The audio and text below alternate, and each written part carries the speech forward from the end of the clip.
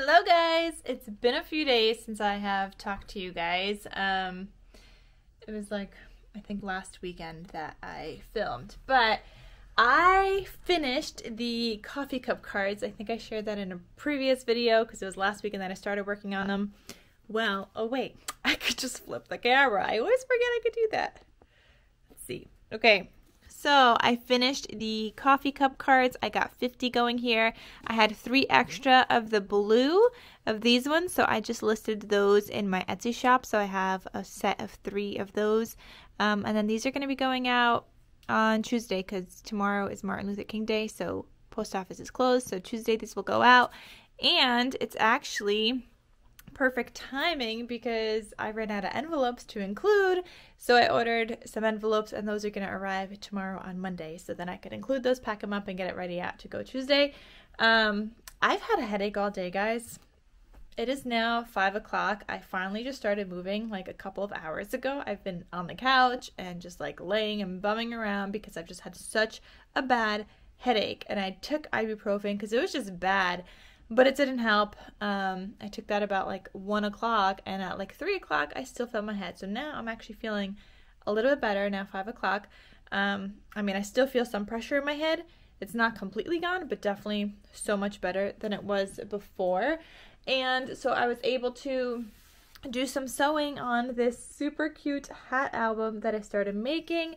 So I stitched all of the pages and I added this like cinch binding and it's so stinking cute. I just have to make like little tags and tuck spots inside of it and um oh I probably should have done pockets and things ahead of time so I guess I'll be doing a lot of angled pockets um because I should have done those pockets in advance before um cinch binding that together um, but I had like a scrap piece of cin- like cinch wire, so I was able to use that, like just like the three little rings, and that actually worked out perfectly.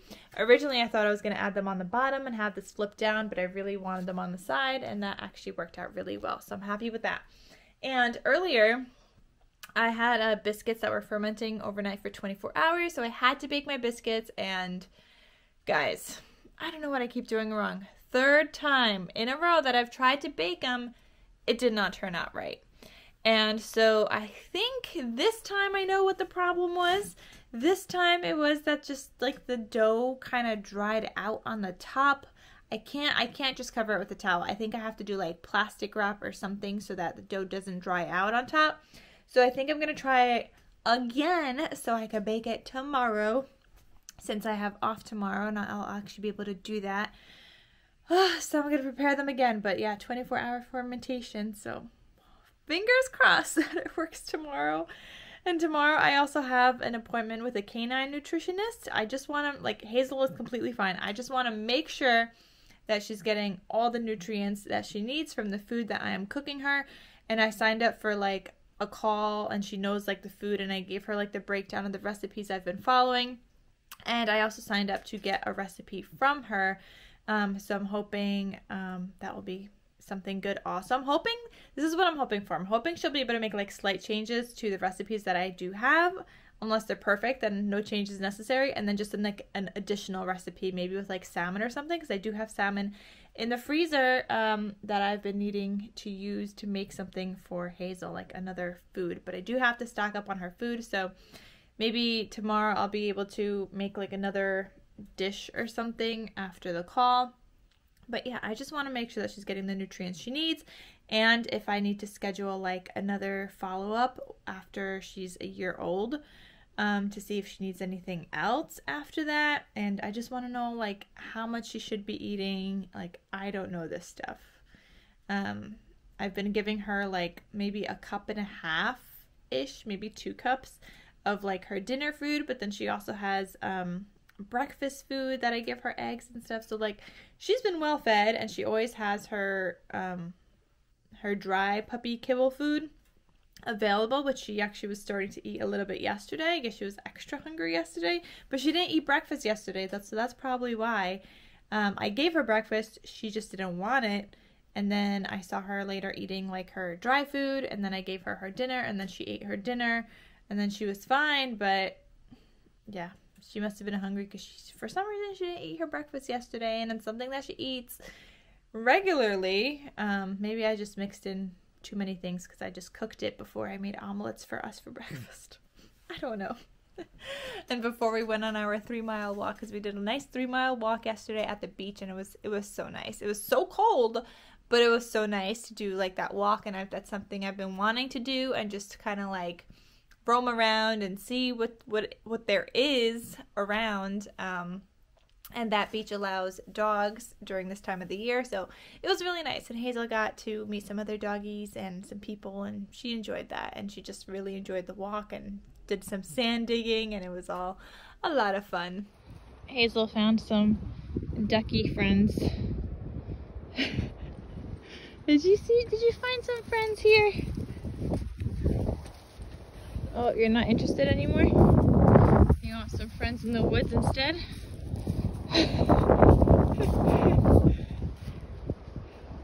this place is so beautiful. Come on, Munchkin. We have a tree to hop over. Hop. Come on. Good girl.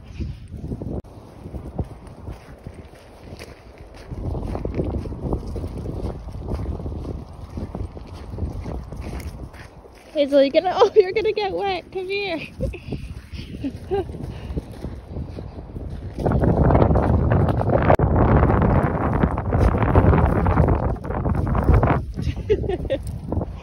you like digging.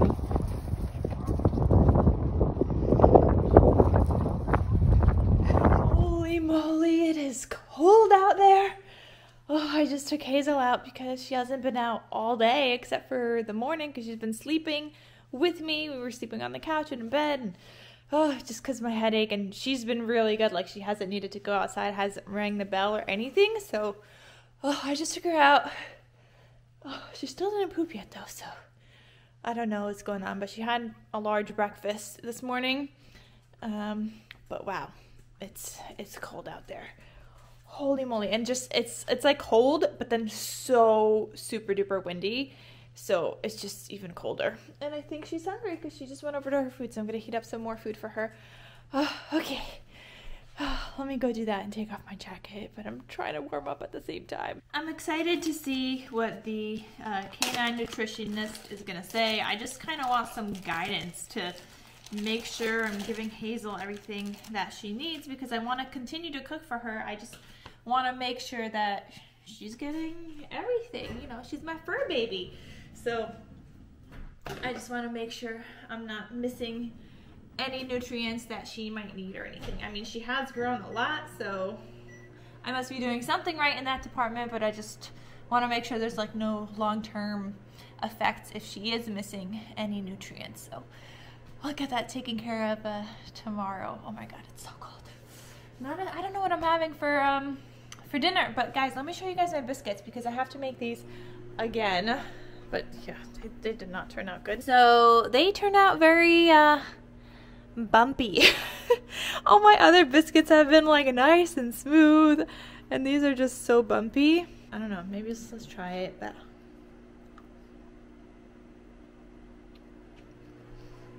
okay, they're not bad. But I don't like the bumpiness. No, that's just gonna like hurt my mouth as I'm trying to eat these in the morning, but they're not bad though. But I am gonna try to make them again. It's mainly just sourdough, and I fed my sourdough last night, so I have tons of sourdough, um, like starter, and what else? Um, flour milk. I could make some more. Okay, Hazel's eating her dinner. She's got some chicken over there with a scoop of cottage cheese on top. She absolutely loves cottage cheese, guys. Add cottage cheese on top of anything and she's like eating it all up. Okay guys, right now I'm preparing a little bit of everything. Um, I'm trying to prepare the biscuits, but I also want to make um, pretzels again. I've been wanting some pretzels for some reason. So, I mean, I could always freeze those also, but um, pretzels I'm to do in the KitchenAid first, and then the biscuits will go in the KitchenAid after, but the pretzels take a little bit, I think, I mean, it's a little bit easier because I could just throw it all in the KitchenAid, whereas this needs some food processor action, so I gotta do that first. Because it's cold butter and flour that needs to get like chopped up together. I also have to order more of these like one cup measuring cups because I want to throw some in with my rice. Um, I have them in all my flours and I also want some in my rice. So, all right, that looks crumbly. I got some hot water here. That's for, this is for the pretzels now. And let's see, I got sugar in there, I got butter in there, and my hot water. And that's supposed to melt the butter. So I'm gonna have that mix here. Ooh. Oh my goodness. my butter fell out. Alright, don't fall out again, have the cover on and the butter still fell out. Oh my gosh. For some reason, guys, with my new KitchenAid, I feel like this is so much more powerful than the one that I had before because on a low setting, things are going flying. Okay, guys, got it mixed together. Now I need my starter. Okay, I need like half a cup, one and a half cups. So here we'll do the one cup. And then we have to mix in about three to four cups of flour. I think I normally go for the full four cups, but we'll see. I'm gonna put my dough hook on here because it needs to knead until it's all combined, I think. Um, until knead the flour until you have a firm ball of dough. This needs a refill. I do have more. Always have more. because you never know when you're gonna run out. Four cups of flour. Okay, now that we're covered in flour, all is good here, all is good guys. Okay, let's put this cover back on so we don't get as much flour everywhere. I really feel like they should make that cover better. Like it should go around the whole thing to be honest. And the back shouldn't be open the way that it is, but I've had my KitchenAid for 10 years and that cover for 10 years and they've never changed it, so they're probably not going to start changing it now. Alright, so that is kneading and doing its thing right in there, and then I got to do my biscuits after. Okay, looks like we got a nice ball of dough here. Alright, here's my dough. Put it into a bowl, plop it in there, and my pretzels are just gonna chill on the counter for two-ish um, hours. And then in two hours, I'll be able to shape them and cook them and bake them and whatever. I feel like I might start covering everything with um, plastic wrap instead of towels. I don't know. My bread is usually fine covered in towels, but um, the biscuits got me worried now because those got really hard on top so I just want to make sure that whatever it's like staying warm but not drying out so all right we got my sourdough pretzels fermenting in there I got my mixture here for my biscuits. Getting use out of this thing already, guys. This is the new one that I've been using, so obviously because the other one I'm not allowed to use anymore, and I don't even know what to do with the other one. Like, it works. You just don't want to, like, I guess be kneading anything for 10 minutes or more. But otherwise, it, it like, works. Okay, so I'm going to throw this in here. This is the flour and the butter. Flour everywhere. I really know how to make a good mess, guys. Oh, Alexa, set pretzel timer for two hours. Pretzel timer, two hours. Okay. Starting now. Next up, I need one cup of sourdough in here, and then I need one tablespoon of um, honey.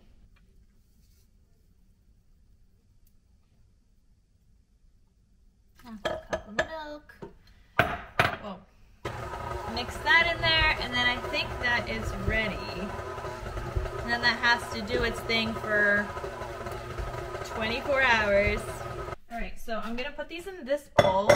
I have stainless steel bowls, as you guys just saw. I used um, for the the pretzels and the what I was saying, uh, the saran wrap sticks great to those, but to these that come with the KitchenAid, for some reason it doesn't stick to them. I don't know why.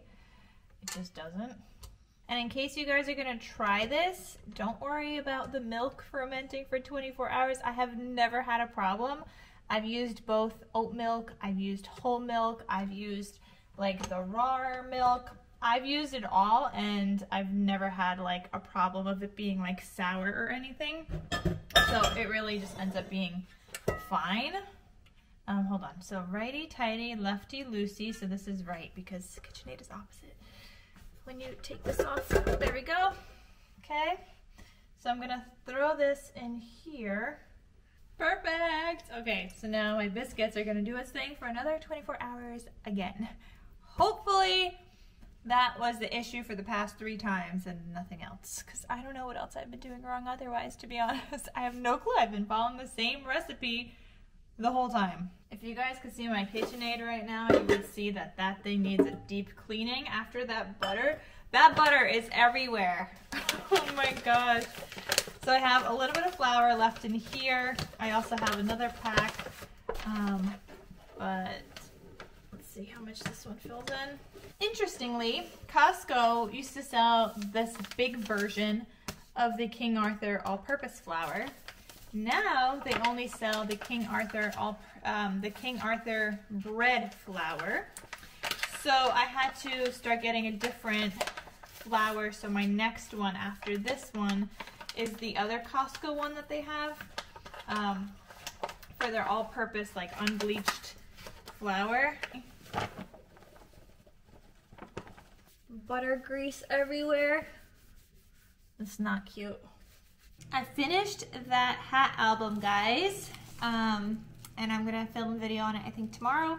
But my pretzel dough, look how much it grew. It is ready. Um, so I'm gonna take this out and we're gonna make our pretzels. So I gotta shape them and everything. Um, I'm supposed to cut them into 16 equal pieces. This does make a lot of pretzels.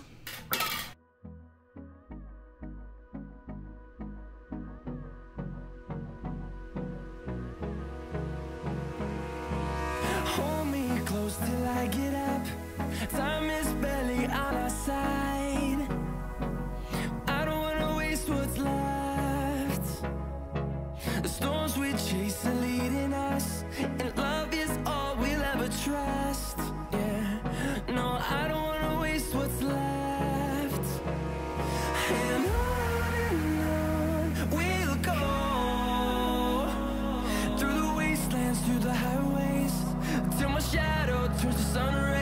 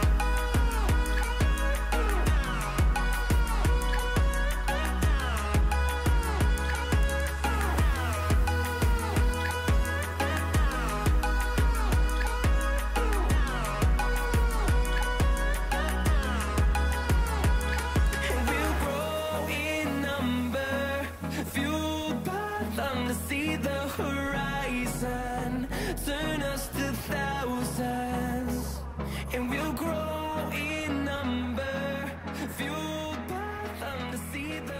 Okay, guys, the dishwasher is on. finish that. Those dishes have some up here drying. Um, my pretzels are in the oven. There's about four minutes left, and I got three minutes until my show starts. So I'm on time. I'm gonna go sit down and get my show ready, and then when um, the timer beeps, I'll just take them out of the oven, and it'll be all good. So I'm excited um, to have some pretzels, but we also have ice cream in the fridge. I'm probably not even gonna have pretzels today. Maybe like a snack bite, maybe later. I don't know after the after the show, maybe. But during the show, I'm gonna watch. I'm gonna have some ice cream because Babe got Carvel the other day, and we just I don't know we didn't eat it, so it's been in the freezer. So we're gonna enjoy our Carvel sundaes. Sorry guys. Ow, Hazel, no bite my feet. She loves biting feet as you're walking. Um, so the new show on Hallmark is called On the Way Home or, or Just the Way Home and it's a new series and I'm excited. Why are you humping me right now? Why is she so excited? All right, guys. All right, the show is starting. I'll talk to you later. Bye.